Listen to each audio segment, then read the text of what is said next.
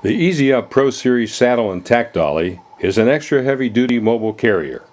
It is designed and built to withstand the rigors of travel and daily barn life while moving and storing lots of equipment easily and safely. Constructed from the most durable, rust resistant square tubing and steel wire, it features two removable saddle racks, a large basket for accessories, and six tack hooks. The 10 inch solid rubber all terrain tires allow easy moving over rough ground, while the swivel casters in front make for better steering on level surfaces. For traveling and storage, simply remove the two cotter pins and fold it down. While it shows, this is a great way to keep all your tack organized and accessible. Designed with advice from professionals who demand convenience and durability, this is the toughest tack dolly ever built.